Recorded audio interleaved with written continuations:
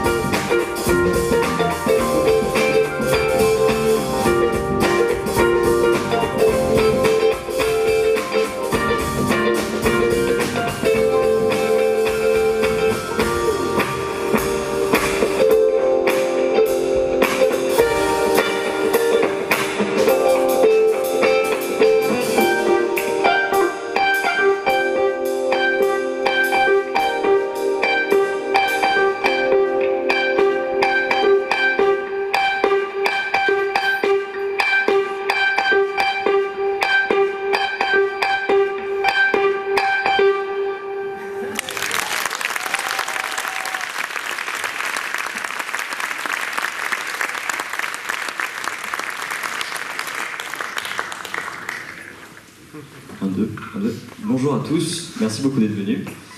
Euh, C'était une composition personnelle qui est intitulée pardon, Monsieur Chat, qui euh, est dans mon premier album. Euh, on va jouer donc une deuxième composition qui s'appelle Be.